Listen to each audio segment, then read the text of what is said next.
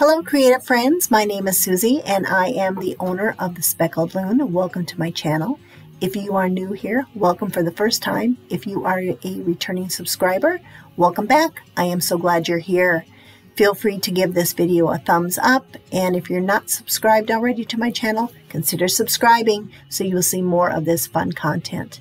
Today we are celebrating everything that is green and yellow and the North Dakota State University Bison with a special DIY decor kit brought to you in conjunction with the NDSU bookstore where you can purchase this kit.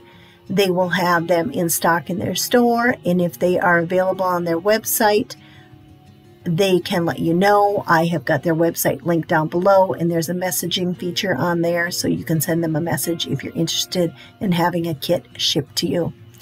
But this kit is fun. I'm going to walk you through all five projects, and we are going to get going step by step. All your paint is included, your glue is included. So the only thing you need to bring is a little bit of creativity and maybe a pair of scissors and a paper plate to mix your paint. Other than that, we are ready to dive in and start creating five fun NDSU Bison DIY decor projects. Let's head on over to the craft room and get started. Let's go over everything you are going to receive in your DIY decor kit. It's going to come in this box. You'll have some printed instructions and all the supplies and the projects are wrapped individually so you'll be able to easily keep track of each part. And as we do each project in the video we'll go over all the exact parts for that project.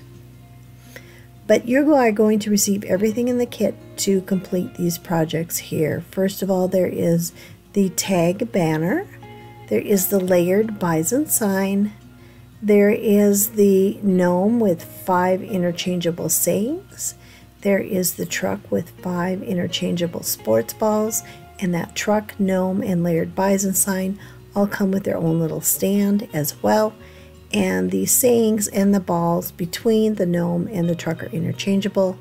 You'll get everything to make this double-sided tag garland as well. The supplies that you are going to get are a bottle of green, yellow, and white paint. This is more than enough to finish all the projects and even when you need to do more than one coat. And there's three paint brushes. These foam paint brushes, there's one for each color, as well as these foam makeup wedges that we'll use. And for the very small items, we'll be painting with these little Q-tips. You're going to get a small tube of glue if you're working with your kids on this, you're going to want to make sure you supervise them because this is a super glue. And for doing the small items on the super glue, you just put a bit of glue on a toothpick and apply it in very small amounts. You are going to need a good pair of scissors to cut the ribbon, maybe some painter's tape, we provide you with a little bit too, and either a wet paper towel or a baby wipe for cleanup, and a paper plate for working with your projects. Our first project is the layered bison sign.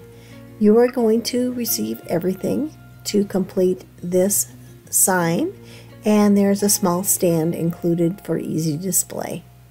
We are going to be painting this base white.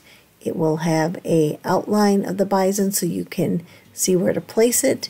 There is this overlay with detail that we will be painting green and there is the small horn and swoosh that goes in the back that will be white.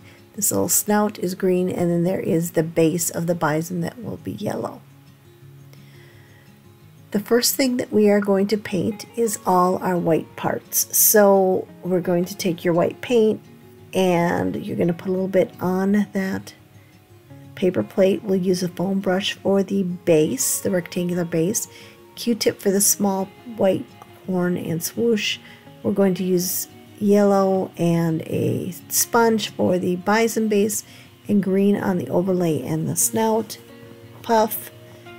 And the first thing we're going to do is just take a little bit of that white paint. Your paint's going to come in sealed bottles. You're just going to need to remove that seal. And then I just do with a foam brush a very light coat you're going to have that small little TM in there, the trademark. If you get white paint in that, just take a Q-tip, that one of the ones that were provided, or excuse me, a toothpick, and go ahead and dig that out. Once you are painting, and if you notice you get any paint on the sides, just take a baby wipe or a wet paper towel, or if you have those makeup wipes, um, and go around the sides and get that off of there because when you put it on, you don't want the white on the dark part of the outside of the piece. And also, just to keep your paintbrushes fresh, you can wrap them in a wet paper towel or a baby wipe when not in use and that way they will not dry out while you're working on other colors or you can use cling wrap, saran wrap, or glad press and seal. Now I'm just taking that q-tip and using kind of the flat end of it, I dip it in a little bit of paint and that is how I am painting the swoosh and the horn. They are on a piece of painter's tape that I've taped down and I put it sticky side up to small to hold the smaller items. So to do my bison, the green overlay, I'm taking my green paint, putting a little bit on the paper plate, and I'm taking a Q-tip again. I'm using the flat end of it, not the pointy end. And I'm doing the small little puff that comes out of his snout. And then I am going to go ahead and do the bison overlay like that as well. And you can just kind of spread the paint around with that Q-tip. It's a great way to paint without getting a lot of brush strokes and paint all over the insides and the sides. And it keeps it basically on the surface of the piece that you're painting. You could, on this larger surface, use one of those makeup wedges. That'd be fine. But for these small lines, I like to use the Q-tips. And I do two coats on the base of the bison and, or excuse me, on the green bison and the white base as well. Just so you know, usually one coat does not cover, you need to do two coats and it just gives it a smoother appearance. So for the bison base that we are painting yellow, I'm going to show you how it works when you use one of the foam makeup wedges. And these are great because if they get dried out, you can just cut the bottom off of it, just a very little bit, and then you'll have a fresh wedge to work with. And when going over those engraved areas on the hindquarters and then the eye, if you get any in, again, just go very lightly over it, but use a Q-tip to just go ahead and scoop that out or a toothpick works as well. And here I'm just doing my second coat to show you that, excuse me, after that it works out to be nice and smooth. I did do two coats on every piece. You can now put everything together. I'm just doing a dry fit. That outline wasn't very visible on camera, but you will be able to see it. And then the green part, you're just going to eyeball and center it right over the yellow. There'll be a small yellow edge all the way around.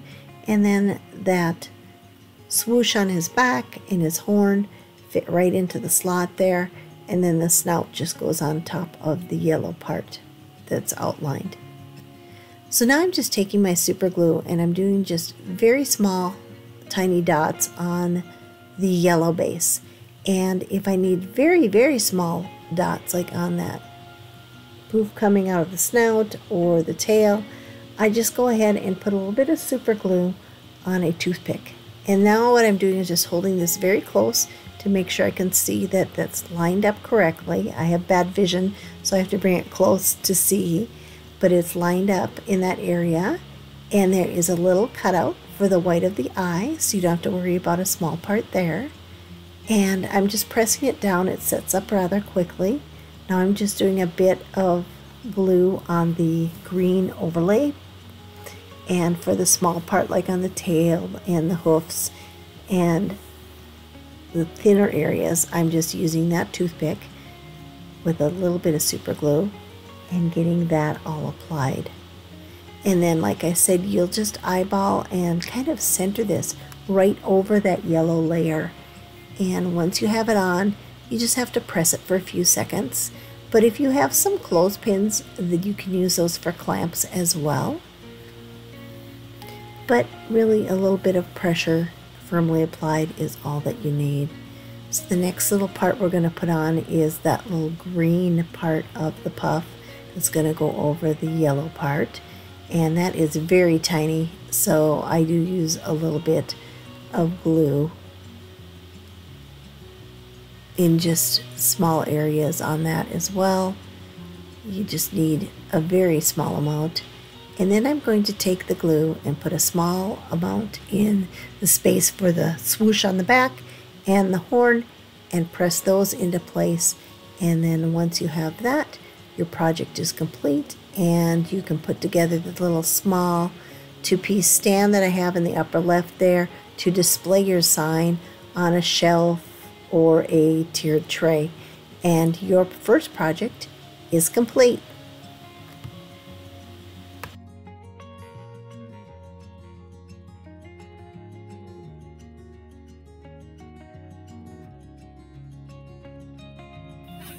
Our next project is the Bison Gnome, and this is an interchangeable gnome. What that means is he can hold um, those little signs that you see, and you can switch them out as you like. There's also some sports balls, football, basketball, etc. that are on the truck we'll do next, and he can hold those too. And he does come with a little stand. So he has this base with a shiplap lines in it, and he's got a beard, He's got two hands, two feet, and then the little spacers in the nose we won't even have to paint. We're just going to leave those unpainted. And if you see, those spacers are to have that little gap there so he can hold those signs. And there's a spot for those marked on the beard. The first thing we're going to do is paint that shiplap round backer. And you take a little gold paint, put it on your plate, and get out one of your foam brushes and we are going to get to work. I've sped this way up so you don't have to watch me paint all day, but we're going to paint that backer. What you see me doing there is while the paint is still wet, if I get any globs or excess paint in those shiplap lines, I just take a toothpick, you've got a few in your kit, and I drag it right through those lines. They're indented a little bit, scored, if you will, to make them nice and straight. And by dragging that toothpick through, it takes out that excess paint and leaves a nice crisp line for you. I do do two coats of this yellow on the backer. In fact, I probably do two coats on everything in this kit. The next thing we're going to do is just paint your white beard. I'm going to take my white paint provided in the kit. And again, a paper plate is really good to use for a little easel. It makes it uh, quick and easy for putting your paint on, and then if it gets dried out, you can just toss it away. But I'm just using my white foam brush there, and then if I get any excess paint on the sides, I just take my wet paper towel or baby wipe and get that off. The next thing we're going to do is paint our green items. So that would be the hat, the shoes, and the little uh, ovals that we use for the hands or mittens. I'm just using my foam sponge for the hat, and then I'm just using my little Q-tip for the feet and the hands. And I, again, I do two coats on everything. So once everything is dry, I like to do a test fit on the oval to see where I want everything to be and the little feet slide in right where you see them. There's a little outline on that beard for the spacers and the hands. And once I have everything where I want it, I'm going to take a piece of that painter's tape. I'm going to just drape it right across the top of the hat to affix that so it stays put. And the first thing I'm going to do is glue on the beard. Since everything goes together like a little puzzle, if the hat is steady, then everything is going to go on just fine. So I'm going to hold down that beard for a few seconds. And this is sped up, but I do hold down that beard for a few seconds to make sure it's secure. Then I do the hat. And then I put a small drop of glue in where the nose would go and put that in. Again, I just leave the nose unpainted. If you have flesh colored paint, you can do it whatever color you want. The next part is the shoes. I do the right shoe first. It's got a little hook where it goes right into that part of the beard there that I'm showing you. And when you first get your kit, it's kind of taped together and you will see how that fits together. And then the left shoe, you can tell that that is the heel right there. There's a little indent on that left part of it. And that's going to be on the outside and you're going to take the inside and just rest it right up there in the beard. So he's on there good and secure now. The next thing are those two little, you'll see half circles etched into the beard, very faint after you paint it, but they will be there. That is where you are going to put on your little spacers. You can actually either do a drop of glue in that indentation or, or you can do it on the spacer. It's just a little half circle.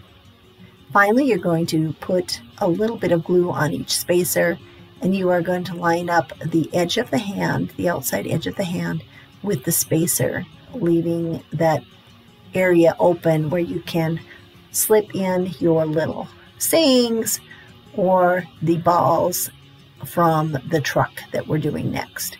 You'll see there the basketball, there's the baseball, there's also a volleyball and a soccer ball. Then the two-piece stands that you get with your kit are just um, a slotted design and he is done. And you can switch out those balls and these sayings however you want throughout the year for whatever sport you're following etc and your sign is complete. Our next project is the tailgating truck which is also an interchangeable piece it comes with this cute little truck that holds the sports balls interchangeably and then also the little things from the gnome that we just painted. And all these balls that are in the truck pack are pre-painted so you don't have to worry about painting those. We will be doing the truck green, the little tires are pre-painted black, we will be doing the bed rail in the frame in yellow and the backer in white. The first thing we're going to paint, and this is just pretty repetitive, so I sped it up here, is your white backer. I do two coats on it with the foam brush, and I take my baby wipe and wipe off any excess globs of paint on the sides so it will look nice when it's all done. You'll see I got that one there and I just wipe them right off. And if you forget to do it while it's wet and it's you want to get rid of it when it's dry, you can do a piece of sandpaper or just a black Sharpie around the edge, and that will um, crisp it up too. I'm taking the foam makeup wedge and painting the truck green, and that does a good job on that. And again, I do two coats.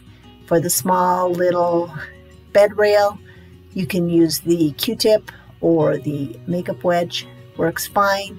And I do use the Q-tip around the frame because it is so thin. And again, I do two coats as well with the yellow. With yellow, you almost always have to do two coats. It's just one of those colors where you don't get the best of coverage. So just to make it look nice, I use um, two coats. And again, I go around this with my baby wipe as well. You can see I have a little glob there on the inside of the frame. I want to keep that clean. So the baby wipe take care, takes care of that problem for me. Once my two coats on everything have dried up, the first thing I am going to do is get a few drops of glue on that thin frame and get that together because we line up everything off that frame. And if your glue is going on too globby, again, just put a little bit on the end of a toothpick and put it in in very fine dots and that will work best. To line this up, they are the backer and frame the same size. So I put the frame in one hand, the backer in another, and have them on a good flat surface. And then press them together. Again, you can use um, clothespins for clamps if you want. If you get any glue oozing out the sides, go ahead and just give it a quick wipe with your baby wipe and it will work just fine.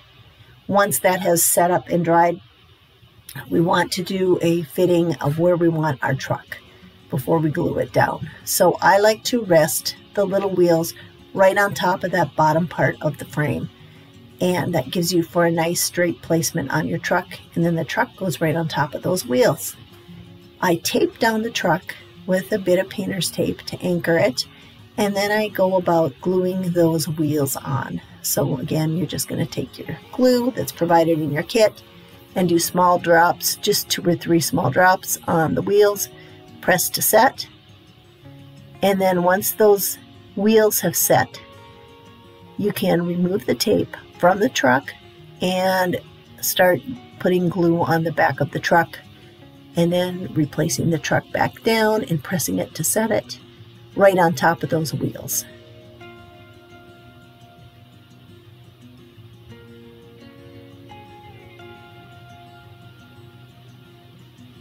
Once your truck is set, there is a little bump out right behind the window where your bed rail is going to go on the right side of your bed rail.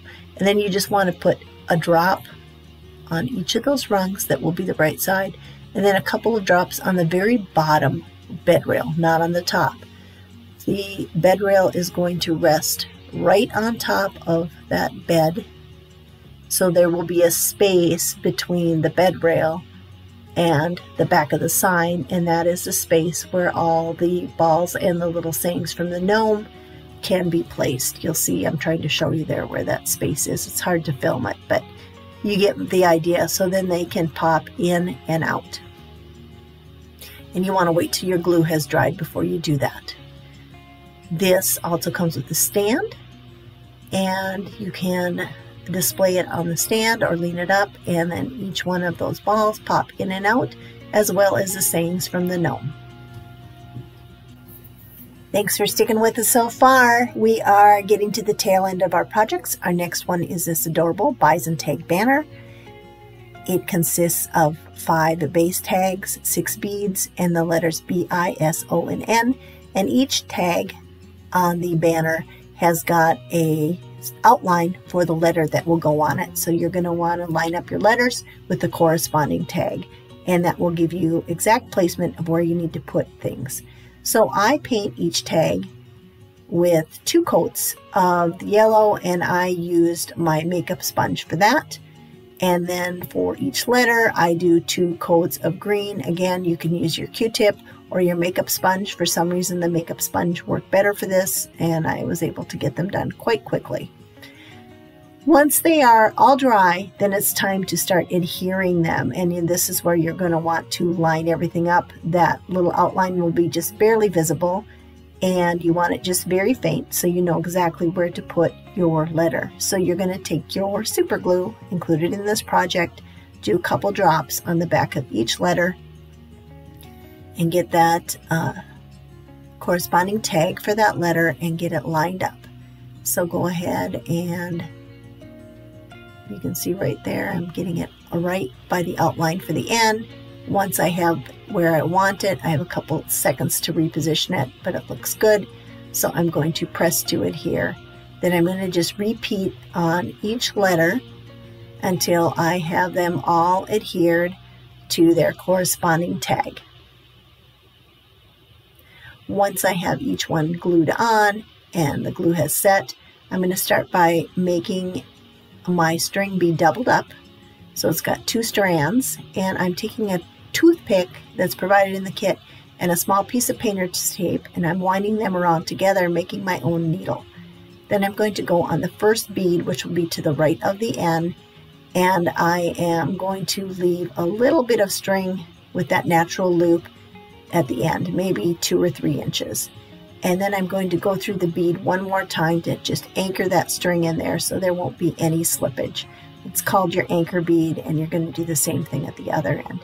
Once you start stringing your pendants, you're going to go down through the first hole and up through the second hole so the string will be behind the pendant. Then you'll string on a bead between each letter and you're going to repeat that until you get all the way over to the very left hand letter, which is the B for bison. Once you have that strung up, you're going to put on your final bead and get that snug up against the B tag. And you're going to go through it a second time again to make that anchor bead and get everything secure. Once you have your anchor bead done, then you're going to take your scissors and cut off the excess and we are going to make a double knot at the very base of that bead. So I'm going to make one and then two loops and then pull them very tight. So I've got that knot and then that bead is secure. And then finally to make my second loop, I'm just going to tie a knot at the very end of that string, making a loop on the left hand side of your tag banner. And then it's ready to display. You can tape the tags to your, to your tray, or if you have hooks, you can hook the loop at each end. Hey, guess what? It is our final project. It is our reversible garland. This is going to come with a reversible tag and the string is already attached to the tassel for you. It has a yellow ribbon and the tag says NDSU on one side and North Dakota on the other and it has all these beautiful beads that are natural and pre-painted. So the only painting on this project is this little NDSU part in the North Dakota. So the NDSU I did in yellow and the letters NDSU I did in green. The base that I did in yellow has got a small etched out part so you can see where to easily place each letter. I did two coats on all of these. I did yellow on the little heart that goes on the North Dakota and I did green on the state itself. Once these are all painted with your two coats, it's time to glue everything together. The NDSU green letters go onto the yellow base, and there is that small little outline that you are going to see so you can adhere them very easily and get them lined up. I'm just double checking my alignment. I have very poor vision, so I'd like to get it up close to make sure that I get it adhered and aligned properly. Finally, we're going to go ahead and glue that NDSU right on the middle of that tag.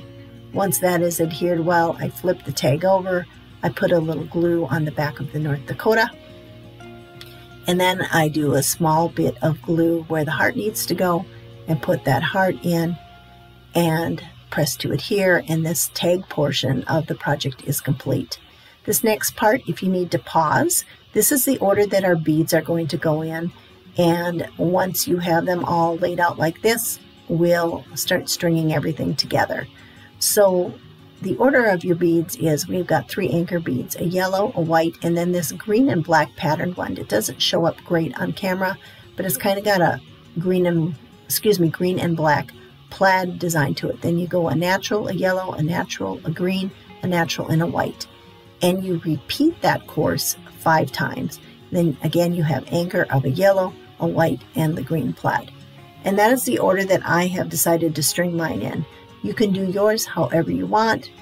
I'm a little OCD and I like mine in a specific pattern. If you don't, you can do them random. So you're going to take your string and we are going to make a needle just like we did for our tag banner. You're going to take the two ends of the string, it is doubled up again, and a toothpick and a small bit of painter's tape and you're going to twist it around super tight until you have a needle that can poke through all your beads. Then you're going to start with your course of three anchor beads, the yellow, the white, and the green, and put those on. And then you are going to do your five regular courses. So a natural, a yellow, another natural, a green, natural again, and a white. And you are going to repeat that for the five courses. I have sped this up because it's quite repetitive. You're doing the same thing, but I wanted you to see the entire process.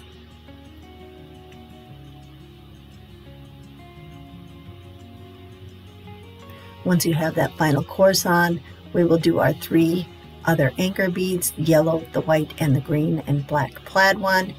And then it's time to run the string through our tag. So you can do this any way you really want. Here's how I do it. I bring it up through the back, then I go around the back of the string, and I start going up through the beads. I go through the bottom two beads there, and I leave a little bit of string between the bottom bead and the tag because we need a spot to tie our ribbon. But I'm going to go through that plaid one and up through the white bead. And then once I get up through the white bead all the way, I am going to cut so I just maybe have five or six inches of string left so I don't have a ton of excess string and it just makes it easier to work with. So I'm up through that one and here I am cutting that off. Now what I'm going to do is do one tie and pull it super tight. Then I'm going to flip it over and go around the string. So the two strings are going around the middle string and I'm going to do a double knot there. That means we have tied a secure knot around our string and that's going to stay in place. I'm cutting off the excess and then I'm just burying that knot in that white bead and it looks like a continuous garland. You don't even know that it's been cut off there. I'm taking my small piece of ribbon, kind of twisting it in the middle to make it easier to go around the string and just doing a small square knot. Kind of looks like a bow tie at this point. and to complete it, I take my scissors, I fold the ribbon in half and kind of cut upward toward the end and I make a bird's beak cut. You can just do a slant cut. But if you've got any frayed edges, you're going to want to trim your ribbon. And then this is complete. You've got the NDSU on one side and the North Dakota on the other side and your beautiful string of beads and tassel. Thanks for joining me on the Speckled Loon channel today. All your projects in your NDSU DIY decor kit are complete Let's take a look at them all together. I want to thank you for purchasing one of these kits. Again, they are available exclusively at the moment at the NDSU bookstore in Fargo, North Dakota. I have left that link below. If you're interested in following the Speckled Loon, my business on any of my social media channels, everything is linked down below as well. I want to thank you for joining me today, and if you have any questions about the kit, feel free to reach out. Otherwise, I'm going to let the music play and at the end of this video, you will see how I arranged everything on a small shelf. I hope you enjoy your finished projects and don't forget to look for the loon.